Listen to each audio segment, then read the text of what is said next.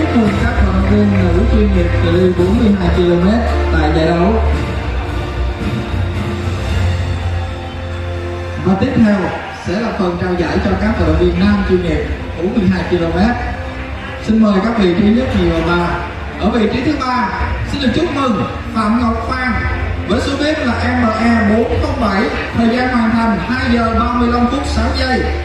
Ở vị trí thứ nhì là Lê Văn Tuấn với số bếp MA 414, thời gian hoàn thành là 2 giờ 32 phút 40 giây. Và ở vị trí đầu tiên là Hoàng Nguyên Thành. Như chúng ta cũng đã biết mặc dù có một sự cố nhỏ khu vực về đích nhưng đó là những hành động rất là fair play trong thể thao. Và Tuấn đã chấp nhận ở vị trí thứ hai bởi vì trên thực tế Hoàng Nguyên Thành là nhà vô địch của chúng ta ở đấu trường SEA Games. Ở đại hội thể dục thể thao toàn quốc, thưa quý vị. Và ở hạng mục của nam chuyên nghiệp 42 km thì chúng ta cũng không có những sự phá vỡ kỷ lục, mà giải đấu đang nắm giữ. Kỷ lục đang nắm giữ được bởi Hoàng Nguyên Thanh là 2 giờ 31 phút 12 giây. Và ngay sau đây, xin kính mời ông Mai Bá Hùng, ủy viên ban thường vụ ủy ban Olympic Việt Nam. Kính mời ông Matsumoto Takeshi tổng giám đốc công ty trách nhiệm hữu hạn dược phẩm Hisameshi Việt Nam Mr. Matsumoto Takeshi, General Director of Hisameshi Vietnam Pharmaceutical Company Limited, come to say at the world.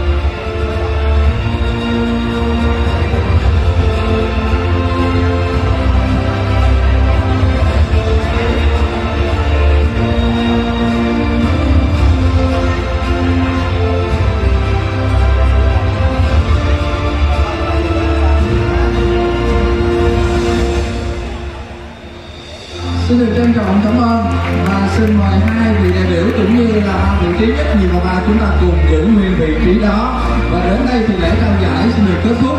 Và chúng tôi kính mời quý vị đại biểu, các nhà tài trợ cùng tất cả những vận động viên đoạt giải của các cự ly sẽ cùng nhau lên sân khấu để chụp một bức ảnh lưu niệm tại giải đấu lần thứ 10 giải marathon thành phố Hồ Chí Minh lần 10 năm 2023 được tài trợ chính bởi Salon bắc một giải đấu đã thành công tốt đẹp một lần nữa xin mời các nhà tài trợ cùng tất cả các vận động viên và giải. Và quý vị đại biểu sẽ cùng nhau lên sân khấu để chụp một bức ảnh tổng thể.